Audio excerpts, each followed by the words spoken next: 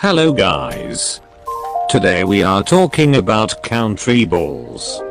Or should I say, state balls? Judging from the title you can probably guess I don't like the channel. I think their videos are lazier than other country ball YouTubers like Poor. For example let's look at this video. So basically, this is meant to be about the fall of the USSR and the rise of Putin. At first this is fine. But it doesn't really have much of structure or story.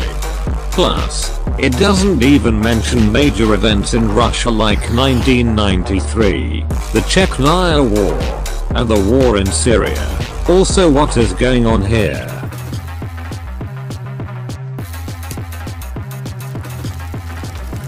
Anyway that's it.